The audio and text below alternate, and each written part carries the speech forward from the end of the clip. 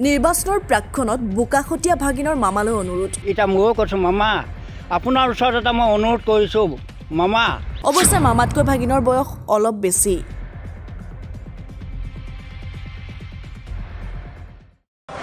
ভাগিনেও হেনো মামাৰ নৃত্য দেখিছে।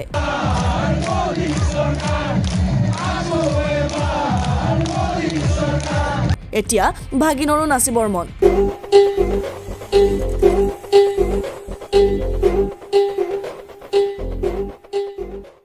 গাঁৱৰ একমাত্ৰ দলংখন বনাই দিলেহে ভাগিনে নাচিব মামাৰ দৰে।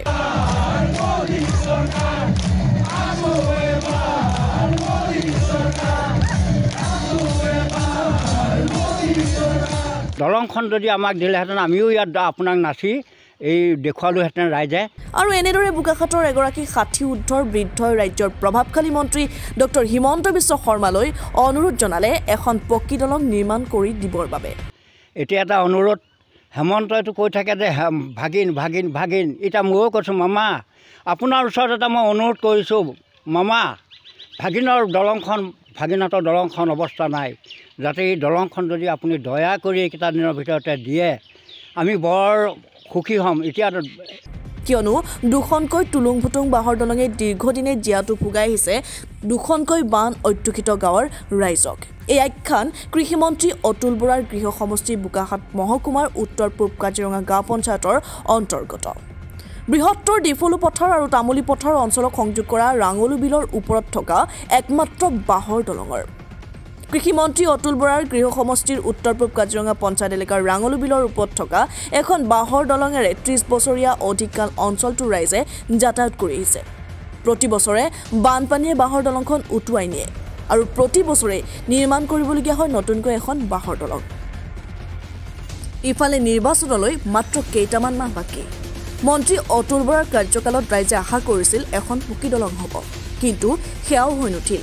দৈনিক শ শ ছাত্ৰ ছাত্ৰীৰ লগতে শ শ শ্ৰমজীৱী লোক উক্ত দলঙেৰে যাতায়াত কৰে। ৰোগী বা প্ৰসূতিক চিকিৎসালয়লৈ আনিবৰ বাবে যাব নোৱাৰে কোনো এম্বুলেঞ্চ অথবা বাহন। ৰোগীক আনিব লগা হয় ঠেলা গাড়ীত সেয়ে উক্ত অঞ্চলৰ ভাগিনে দলংখন বনাই দিবৰ বাবে মামাক আহ্বান জনালে। দলংখনত দি আমি বহুতো হাজিৰা কৰা ছাত্ৰ ছাত্ৰী আজি নাই বুলি কওঁতো তিনি চাৰিশ ল'ৰা ইফালেদি গৈ হাজিৰা কৰি ঘৰত মানে ভৰণ পোষণ দিছে। আৰু দুখন স্কুল আছে। দুখন স্কুলতো নাই বুলি কওঁতো পাঁচশ ছশ ছাত্ৰ ছাত্ৰী আছে। গতিকে এই দলংখনত দিয়ে মাষ্টৰ পাৰ হৈ যায়। আৰু এইখন দলঙেদি আজি কলেজত পঢ়িবলৈ ল'ৰা ছোৱালী যায়। কিন্তু আমি বিজেপি চৰকাৰে পৰিৱৰ্তন চৰকাৰ বুলি কৈ পেলাই তেওঁলোকে ধৰক বৰ এটা আমাৰ ৰাইজক আশা দিছিলে। আশা দি যে দলং ঘাট ৰাস্তা পদূলি এইবিলাক ভালকৈ দিম। এতিয়া আপোনালোকে চাওক ইয়াত আজি বেমাৰী হ'লে আমাৰ ঠেলাত আনিবলৈ এটা অসুবিধা। দেই কাৰণ কেলৈ অসুবিধা হৈছে? ইয়াত আমাৰ কোনো যান বাহনৰ সুবিধা নাই। বাঁহৰ দলঙেদি এম্বুলেঞ্চটো কেতিয়াও নাযায়। গতিকে আমাৰ বহুত আশা কৰি পেলাই আমি অতুল বৰাক ভোট দিছিলোঁ। তেওঁ তাতে আমাৰ এই কামখন দলংখনেই বনাই দিলে আমি বৰ ৰাইজে খুচি হ'লোহেঁতেন ভাল পালোহেঁতেন যে তেতিয়া আমাৰ বেমাৰী চেমাৰী বা স্কুল হাজিৰা কৰি খোৱা মানুহৰো পেটৰ মানে চৰুটো মানে গধূলি সাঁজ গোটাই আনিব পাৰিলেহেঁতেন। গতিকে এতিয়া যি হওক এতিয়া এটা অনুৰোধ হেমন্তইতো কৈ থাকে যে ভাগিন ভাগিন ভাগিন এতিয়া ময়ো কৈছোঁ মামা আপোনাৰ ওচৰত এটা মই অনুৰোধ কৰিছোঁ মামা ভাগিনৰ দলংখন ভাগিনহঁতৰ দলংখন অৱস্থা নাই। যাতে এই দলংখন যদি আপুনি দয়া কৰি এইকেইটা দিনৰ ভিতৰতে দিয়ে আমি বৰ সুখী হ'ম। এতিয়া ডেৰ মাহো নাই ইলেকশ্যনলৈ। গতিকে সেইকাৰণে এটা অনুৰোধ কৰিছোঁ যাতে আপুনি আমাৰ দলংখন যদি মামা আমাক দিয়ে আৰু আপুনি বৰ আমি ভালো পাইছোঁ। আপোনাক ইলেকশ্যন আহিলে আমি নাচ কিছুমানো দেখোঁ। নাচটো আমি দেখা নাছিলোঁ বৰ ভাল লাগিলে। নাচ দেখি গতিকে দলংখন যদি আমাক দিলেহেঁতেন আমিও ইয়াত আপোনাক নাচি এই দেখুৱালোহেঁতেন ৰাইজে। গতিকে ইমানকৈ কৈ মই আপোনাৰ মামাক অনুৰোধ কৰিছোঁ যাতে আমাক চাবা আমাৰ দলংখন ৰাংল দলংখন যাতে অতি সোনকালে আমাক দিয়ে। অন্যহাতে বোকাখাট সমষ্টিৰ তামুলী পথাৰ অঞ্চলৰ উন্নয়নৰ ক্ষেত্ৰত স্থানীয় বিধায়ক তথা কেবিনেট মন্ত্ৰী অতুল বৰাই কোনো ভূমিকা গ্ৰহণ নকৰাৰ অভিযোগ তুলিলে অঞ্চলটোৰ যুৱকে। এইটো বৰ দুৰ্ভাগ্যজনক কথা। আমিও বহুদিন বহুতকে গালি পাৰিলোঁ। বহুত চৰকাৰ আহিল বহুত চৰকাৰ গ'ল।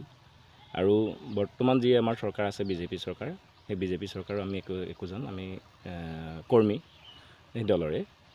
আৰু আমিও বহুতবাৰ কৈছিলোঁ অতুল বৰা ডাঙৰীয়াকো আমি বহুতবাৰ মানে ৰিকুৱেষ্ট কৰিছিলোঁ। যে আমাৰ খুব এইটো এটা বৃহত্তৰ এটা অঞ্চল এই অঞ্চলটোৰ একমাত্ৰ যাতায়াতৰ পথ আমাৰ এই দলংখনে আৰু এই ৰাস্তাটো। কিন্তু অতি পৰিতাপৰ বিষয় যে আজিলৈকে সেই গোটেই বিষয়বোৰ যিমান ধুনীয়াকৈ উত্থাপন কৰিব বিচাৰিছিলোঁ যদি পাৰি- পাৰিছিলোঁ যদি হৈছিলে ক'ৰবাত সেইবোৰ একো হৈ নুঠিলে। কিন্তু আমি এতিয়া এটা কথাই অনু অনুৰোধ কৰিম যে মাজত আৰু কেইটামান দিন বাকী আছে যে দুমাহ হয়তো নাই। কেইটামান দিন বাকী আছে। এই দিনকেইটাৰ ভিতৰতো যদি আমাৰ আহ, গড় কাপ কাপ্তানী বিভাগৰ মন্ত্ৰী আমাৰ হিমন্ত বিশ্ব শৰ্মা ডাঙৰীয়া তেখেতো আমাৰ এই ভিডিঅ'টো চাই পেলাই আমাৰ বাতৰি যোগেদি তেখেতো যদি বুজি পায় অন্তত এইকেইটা দিনৰ ভিতৰতো যদি তেখেতে অকণমান কিবা দয়াৰ চকুৰে চায় আমাৰ এই ৰাস্তাটো এই তথাই দলংখন আৰু এই অঞ্চলৰ অঞ্চলৰ বৃহত্তৰ স্বাৰ্থ এইটোৱেই। আৰু শিক্ষানুষ্ঠান বাকী আমাৰ যিবোৰ আছে সেইবোৰতো একো হৈ নুঠিলে এই আটাইবোৰকে সামৰি মেলি মই এটা কথাই ক'ম আমাৰ অনুৰোধ যাতে আহিবলগীয়া দিনত আমাৰ যি যিজন ব্যক্তি নাহক এনেকুৱা ধৰণৰ প্ৰলোভন দিব নালাগে এনেকুৱা ধৰণৰ মিছলীয়া কথাৰে ৰাইজক আকৰ্ষিত কৰিব নালাগে আৰু ভোট বেংকৰ ৰাজনীতি কৰিব নালাগে যদি প্ৰকৃতাৰ্থত তেওঁলোকে এজন ৰাইজৰ সেৱক হিচাপে যদি আগবাঢ়িব খোজে তেনেহ'লে ৰাইজক দিয়া প্ৰতিশ্ৰুতি পূৰণ কৰিব লাগে। আমি সেইটোৱে বুজি পাওঁ। যিহেতু মিত্ৰজোঁটৰ মিত্ৰজোঁটৰ এজন মন্ত্ৰীও আছে অগপৰ এগৰাকী মন্ত্ৰী আছে মন্ত্ৰী হিচাপে কৰণীয় বহুত থাকি গ'ল। তেখেতৰ মন্ত্ৰী হিচাপে যথেষ্টখিনি কৰণীয় থাকি গ'ল। তেখেতে তেখেতৰ নিজা মন্ত্ৰী হিচাপে তেখেতৰ যিখিনি বিভাগ আছে বিভাগৰ ফালৰ পৰাতো সমষ্টিবাসীক একো নিদিলেই। সমষ্টিবাসীয়েতো একো নাপালেই। অনাগত দিনতো যদি তেখেতে পুনৰ নিৰ্বাচিত হৈ আহে বা নিৰ্বাচনত অৱতীৰ্ণ হয় তেখেতক আমি অনুৰোধ জনাম। যাতে মিছা কথাৰে কোনো দিন ৰাইজক আকৰ্ষিত নকৰিব তাৰ কাৰণে আমি তেখেতক অনুৰোধ জনাইছোঁ। একাধিক উন্নয়ন কৰা বুলি ইতিমধ্যে তেওঁলোকে প্ৰচাৰ চলাই আছে।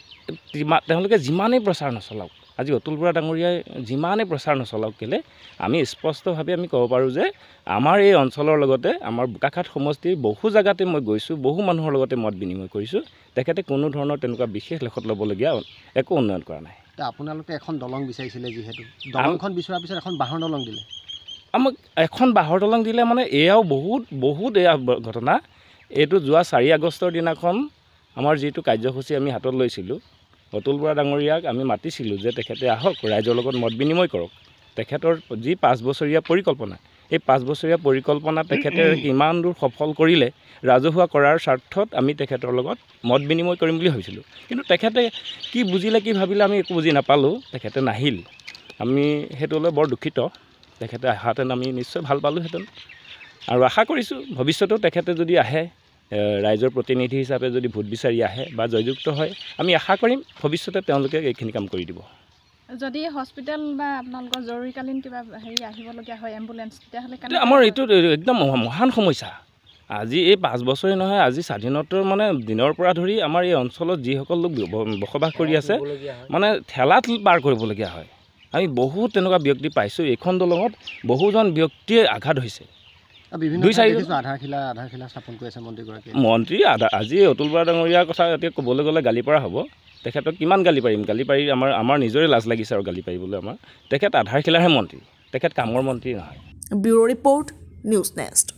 সগৌৰৱেৰে যোৱা সোতৰ বছৰ ধৰি সোণাপুৰ অঞ্চলত ৰাইজৰ সেৱাৰ মানসেৰে হোটেল ব্যৱসায় আৰম্ভ কৰা অন্যতম এজন অসমীয়া ব্যৱসায়ীৰ কষ্টৰ ফচল ডিলাইট ধাবা। সদায় থলুৱা খাদ্যৰ ওপৰত গুৰুত্ব দিয়া এইখন ধাবাত থালি একেবাৰে কম মূল্যত উপলব্ধ।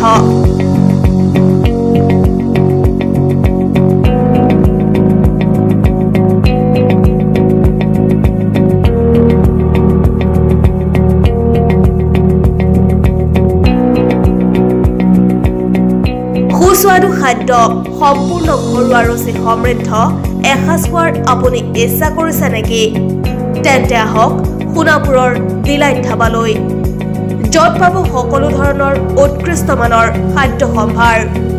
যোগাযোগ কৰক double nine five four two triple seven nine three অথবা nine eight five nine one three nine one seven one.